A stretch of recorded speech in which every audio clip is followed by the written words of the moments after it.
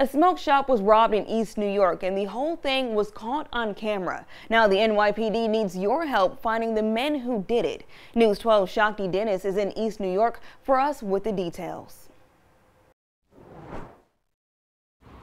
Yeah, it all started when the employee of this small smoke shop on Ashford Street and Linden Boulevard was closing the store on November 7th. Police say that four suspects approached him and pushed him to the ground, and what happened next was caught on camera.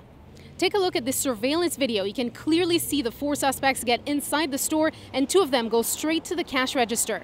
Police say they took about $500 in cash and another $500 worth of e-cigarettes. They allegedly also took the store keys before running away. So here, these are the four suspects police are looking for. Authorities say the employee didn't want medical help once police arrived, but he's back at work today and he told us he feared for his life. And he watched me when I opened the door and then he just pushed me in the floor and he put his hand on my mouth.